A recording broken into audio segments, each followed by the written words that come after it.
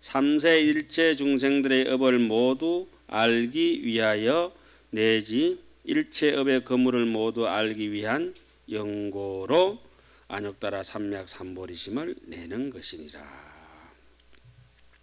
욕 실지 할 때 욕자는 조동사에 해당합니다. 뭐뭐 하고자 한다고 하는 알 지자를 받쳐주는 도와주는 동사 조동사. 본동사는 뭐죠? 알 지자가 되겠죠. 자, 그 다음에 중생들의 번뇌에 대한 제 열 번째 비유입니다. 번뇌의 차별을 아는 죄라.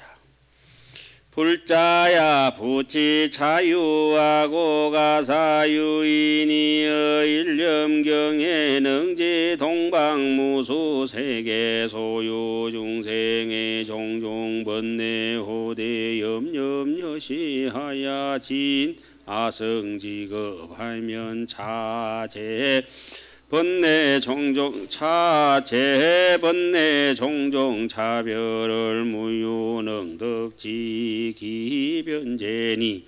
유제인이여 일념경에 능지전이 나성지급 소지중생 번뇌 차별하야 여시 부진 아성지급하며 차제강설하야 내지 제시하고 삼서북방가 사유 상하도 역부여시하며 불자야 차시방 중생의 번뇌 차별은 가 지 변제의 니와 보살의 초발란욕 따라 삼야 삼보리 심한 성근 변제는 불가득진이라. 불자야 이 비유 또한 그만두고 가령 어떤 사람이 지금 열 번째 비유죠. 몇 번째까지 있다 했습니까?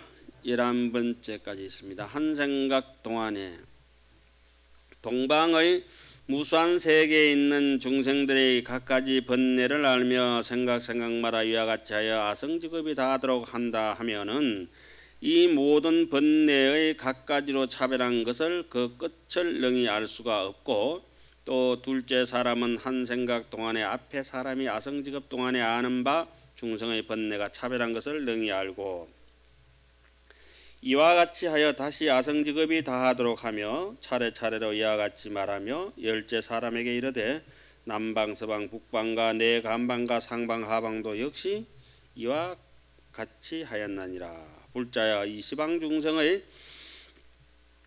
번뇌가 차별한 것은 곧 끝간대를 안다 하더라도 보살이 처음으로 안욕따라 삼맥 삼보리심을 내는 성근 초발심의 공덕은 그 끝까지를 알지 못한다. 불가능하다. 득지 아는 것을 얻는 것이 불가득지라 불가능. 불가능이나 불가득이나 똑같은 말입니다.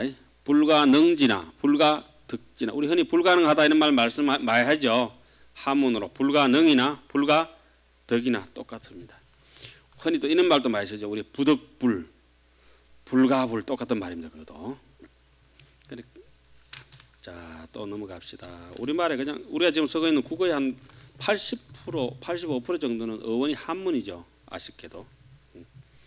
하이고 하이고도 물론 한문입니다. 아이고 우리가 흔히 아이고 웃자고 하는 게 한문으로 아이고 웃자고 하는 겁니다. 어찌할 거가 한문입니다. 어째 이래 됐노? 아이고 어찌한 까닭이냐?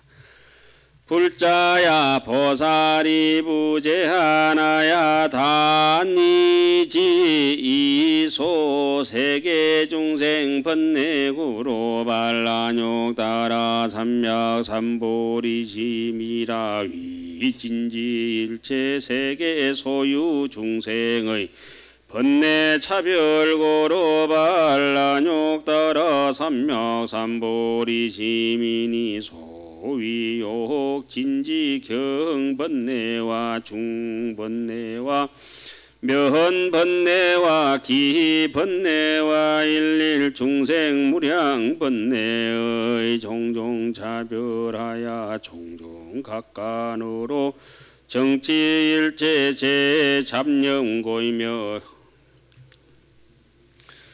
욕 진지여 무명 번뇌와 애상 애상응 번뇌하야 단일체 제 유치 번뇌 결고며 욕 진지.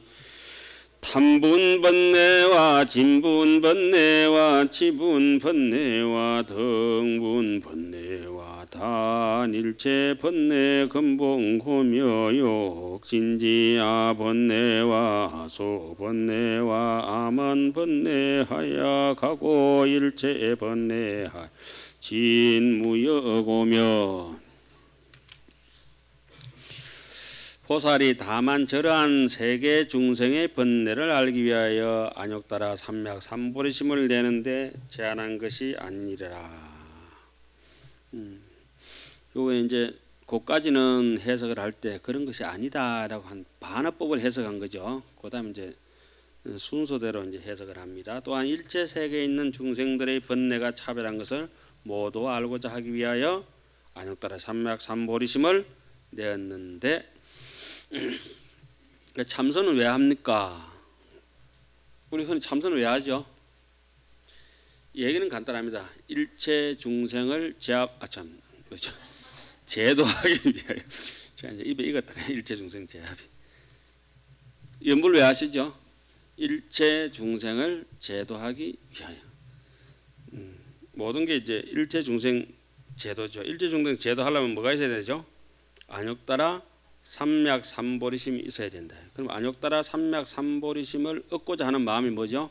발 안욕따라 삼맥 삼보리심이라.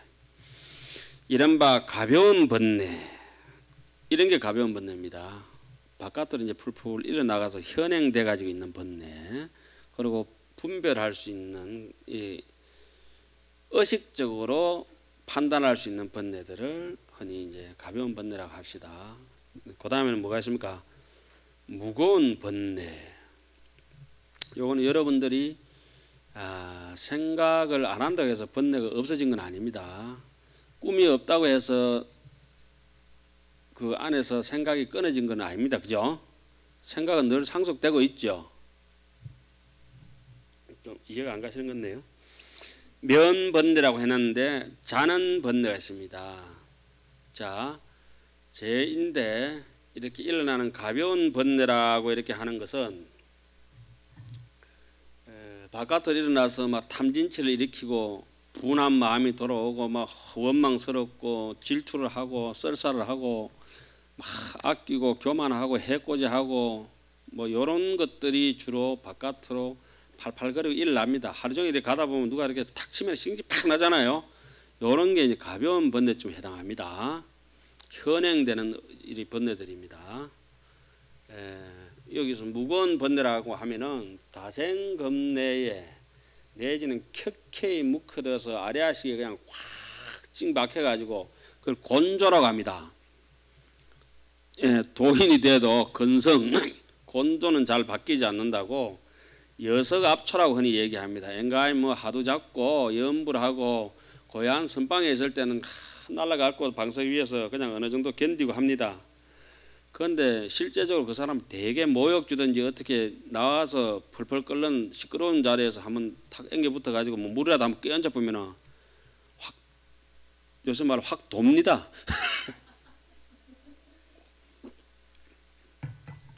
확 올라옵니다. 그 선방에서 6년 동안 무문관 결사하시던 어선 스님이 계셨습니다. 뭐 절을 하나 지났는데 절이 조금 그 집 산하고 같이 물려가 좀 시비가 있었는가 봐 이웃 다른 산하고 그쪽에 이제 주인이 와가지고 여자분인데 그 스님의 뺨을 때렸습니다 6년간 무문관 결사를 열심히 정진하신 스님 뺨을 스님이 어떻게 반응하셨을까요? 보살님 일하시면 안 되십니다. 지금 생각해 보면 참 어렵다 하는 생각을 합니다. 저인데 지금이라도 누가 이렇게 한경을 제가 입고 있는데 누가 뺨 때렸다. 그 사람은 죽습니다. 바로 간짜입니다. 간짜. 요령을 뭐 거꾸로 흔들고 나무함 탑을 하든지 뭐 이렇게 안 됩니다. 야 열심히 정진한 사람은 표가 그래 납니다. 아이고 일하시면 안 됩니다. 그때는 막 욕을 해서 이러다가 나중에 땅을 청량을 해보니까 그 집 땅은 하나도 안 들어가고 군 하천 부지가 약간 들어왔고 그 집 땅하고는 상관없습니다. 약간 조그만 도랑이 있는데 그럼 그 사람이 때렸던 사람은 어떻게 될까요? 죽을 죄를 짓다고 오지만은 그 사람은 계속 그렇게 남 두드러 팰 것입니다.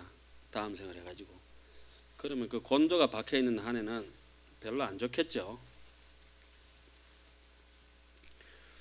그래, 눈앞에서 일어나는 현행 번뇌에 대해서 뺨을 맞고도 아이고 일하시면 안 됩니다 하시는 분들은 안쪽에서 습기의 무거운 번뇌도 많이 제압된 분들입니다.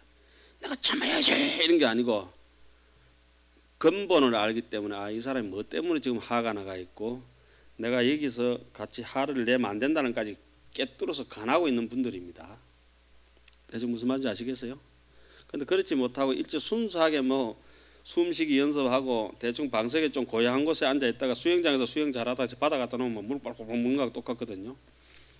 실제 총알이 오가는 전투 상황에서 요처에서 대하는 걸 보면은 무거운 번뇌가 어느 정도 제압됐는지는 그 사람의 가벼운 번뇌를 이렇게 쳐다보면은 판단이 갑니다. 그런데 무거운 번뇌는 무생법인을 얻기 전까지는 절대 볼 수가 없습니다. 그 여기서 경번뇌니 중번뇌니 면번뇌니 기번뇌니 나왔습니다. 면번뇌라고 하는 것은 번뇌가 활동을 하지 않습니다. 잠재적인 음성 인자로 그냥 잠복되어 있는 것입니다. 그런데 이 안쪽에 무거운 번뇌가 없는 사람들은 거의 꿈이 잘 없죠. 무거운 번뇌가 많은 사람들은 험한 환경 약창계도 독통하고 꿈에서 뭐 가위도 눌리고 악몽도 눌리고 이러면은 꿈 많이 꾸는 사람들은 업장이 두껍습니다. 그 스님들은 주로 꿈이 없습니다. 생각이 단순하고 생각이 단순한 게 아니라 자꾸 단순한 쪽으로 몰고 가고 다생금내에 무거운 업장 번뇌가 있으면 어떻게 하느냐 어모가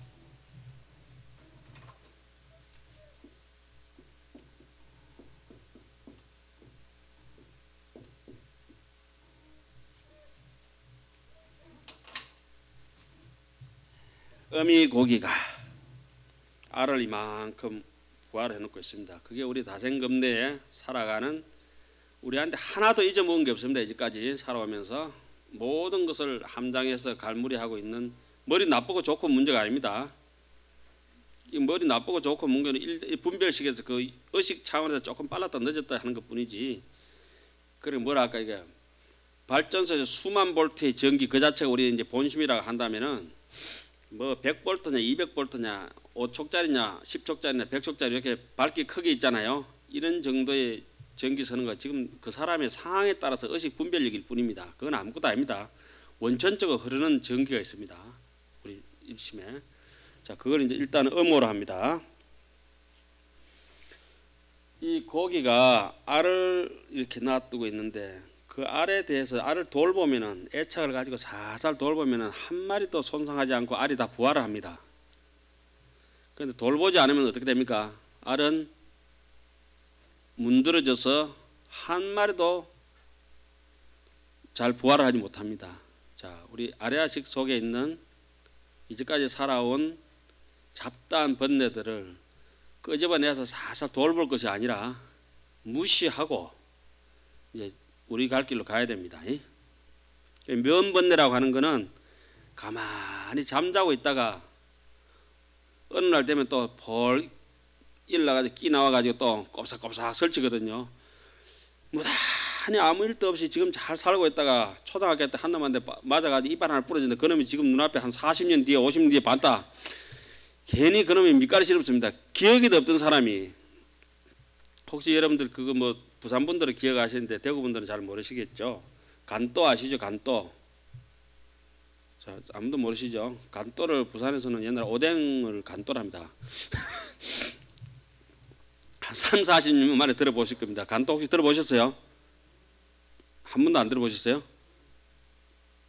이상하시네. 간도 국물을 그 옛날 오뎅 국물 간도 국물 했습니다. 지금은 쓰는 말이 아닙니다. 오뎅으로 쓰지. 그죠? 선생님 들어보셨죠? 그래 덴, 덴뿌라라 덴뿌라도 있고 간또라 합니다. 덴뿌라도 참 오랜만에 들어보죠. 요즘 덴뿌라 잘 안 쓰잖아요, 그죠? 그래서 그게 우리의 기억속에 꼭 처박혀 있다가 이렇게 가만히 그 없어진 건 아니고 그대로 있습니다. 인연만 돈 바람 무조건 티 나옵니다. 그죠? 에, 그런 얘기들을 여기서는 이제 경번년이 중번년이 면번년이 기번년이 이렇게 쭉 나오잖아요. 여기 나온 얘기들은 네 가지를 중심적으로 해놓는 건데 옛날 사람들은 이거 뭐 설명 안 해도 대충 다 압니다. 대충이 아니고 확실히 다 압니다. 그리고 거기에 대해서 무거운 번뇌와 내 가벼운 번뇌에 대해서 어떻게 대처하고 내 종자는 업의 종자는 악종자는 어떻게 뽑으리 뽑을 것이고 절대 안 뽑힌다는 거 알죠? 그안 뽑히는 거는 어떻게 간수해야 되고 일어나 가지고 흔들거리는 거는 어떻게 정리를 해야 되고 요걸 이제 정확하게 알고 있습니다.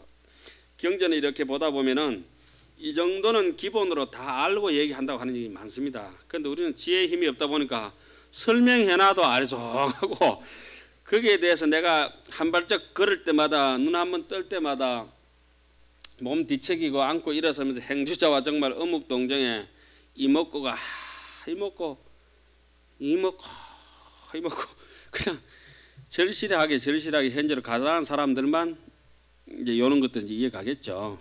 이제 막 에, 대충 여기서 이제 말씀드리자면은 딱 달라붙어 가지고 찐득하게 붙어 가지고 어떻게 할까요? 지금 요 칠판에 글자 이렇게 붙어 있듯이 요런 번뇌는 무거운 번뇌고 어, 칠판에 있는가 요 칠판하고 같이 있더라도 요거하고 요거 분리되어 있잖아요, 그죠? 분별할 수 있는 번뇌는 현행되는 가벼운 번뇌라고 이렇게 보시면 됩니다. 그 다음에 자는 번뇌, 일어나는 번뇌, 그렇게 번뇌를 다른 말로는 수면이라고 합니다. 그렇게 자 면이라고 하는 것은 여러 가지 뜻이 있습니다. 번뇌를 왜 면이라면 잠자는 사람은 분별력이 있습니까? 예, 구- 분별력이 없다고 해서 면이라고 합니다. 또 번뇌를 또 다른 말로는 대부분 혹시 지금 학점 미달돼 가지고 특거리로 이거 입학하신 분들 때문에 하겠습니다. 이거는 사용한다, 사용자 고용자 있잖아요, 그죠? 번뇌의 다른 이름을 사라고 합니다. 또 번뇌의 다른 이름을 맺힌 게 많습니다. 결이라고 합니다. 매듭이 꽉 묶여가지고 안 풀리잖아요. 저 사람은 이 사람은 막 아이고 뭐 맺힌 게 많다 하잖아요. 그래서 참 불교에서 나온 말입니다. 저놈하고 내하고는 맺힌 게 많다 하잖아요. 왼수 맺는다 이러잖아요. 원결 번뇌를 결이라고 합니다. 결. 요거는 막 소금밭에 숯그 소금술에 끄는 염전밭에 일하는 요새 염전노예 있잖아요. 염전노예. 염전노예처럼 남인데 그 사용돼가지고 불해지는 걸 또 번뇌라고 합니다. 또 이제 잠잘 면자도 이렇게. 뭐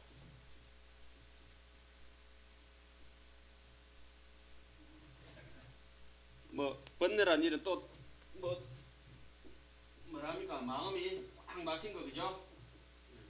혹 달린 사람들 혹 번뇌를 갖가지로 예, 표현을 합니다. 저것뿐만 아니고 여기서 이제 보면은 자는 번뇌, 일어나는 번뇌, 낱낱이 중생의 한량없는 번뇌와 갖가지 차별을 모두 알고 갖가지 각간으로 각이라고 하는 이겁니다. 자 보십시오. 여러분들 고개를 들고 저를 보고 있습니다. 여기 각입니다.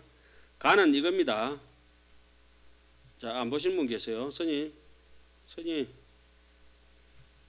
스님요 주무친. 자 이렇게 안 바쁘면 골치 아픕니다. 자 설명할 때, 자 각입니다, 그죠? 뭡니까? 보고 있습니다, 그죠? 관은 왼쪽으로 가는지 오른쪽으로 가는지 어떻습니까? 정확하게 관찰하고 있죠. 요게 관입니다. 아주 이해 안 되시는가 본데요.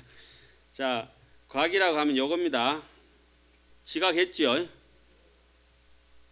자, 이건 뭡니까?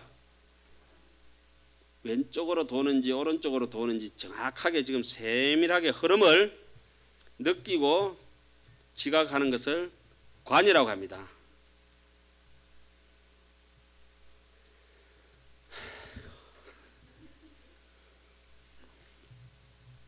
자 그러면 이제 뭐 이렇게 잡든지 놓든지 자기가 이 각간이라고 하는 거는 제 육식에만 판달되는 분별력입니다. 사실은 각간 분별은 바깥의 현행 의식에만 나오는 것이고 그 안쪽으로 타고 들어가면은 제 7식이 있습니다. 요거는 하, 이렇게 물건을 한번 던져 봅니다. 탁 던지면은 던지면 어떻게 할 것 같아요? 툭 놀라든지 피하든지 받습니다. 안에서 늘 독사처럼 도사리고 있는 놈이 있습니다. 꽃이 오면 확 달게 됩니다. 돈을 뿌리면 그 돈에 확 달게 되잖아요. 그죠? 좋아가지고 똥을 뿌리면은 시급하고 막 확 피합니다. 순식간에 딱 뿌리는데 이것을 안쪽에서 내가 좋아하는 것 싫어하는 걸 끝까지 쫙 보면서 그게 분별하는 거는 육식이지만 안쪽에서 좋다 싫다를 탁탁탁 하는 거는 칠식이가 있습니다. 칠식이 그놈은 안쪽에 앉아가지고 아까 얘기하던 하나도 없어지지 않은 이 그 옛날 기억 덩어리 그놈을 지가 전부 다 통체적으로 간, 간 주관하고 있는 지가 주인으로 알고 있습니다. 그게 아집이랍니다. 아집. 아만이라고. 수행은 그걸 뽑아내기 위한 끊임없는 도전입니다. 그게 이제 다 뽑혀 나간 사람을 우리는 무생법인으로 얻었다 합니다. 절대 안 뽑혀 나가죠. 바깥으로 근데 화내는 것도 못 참는 사람이 안쪽에 잠재돼 가지고 분별 있잖아요. 좋은 거 있으면 좋다고 애착이 딱 가고 싫은 거 있으면 금세 싫다고 이렇게 합니다. 우리 저기 하안경 세지묘원품 보면 이렇게 많이 나왔습니다. 가해락이라고 많이 나왔죠. 가히 즐길만 한 거, 그죠? 가해냐, 불가해냐, 요거에 대해서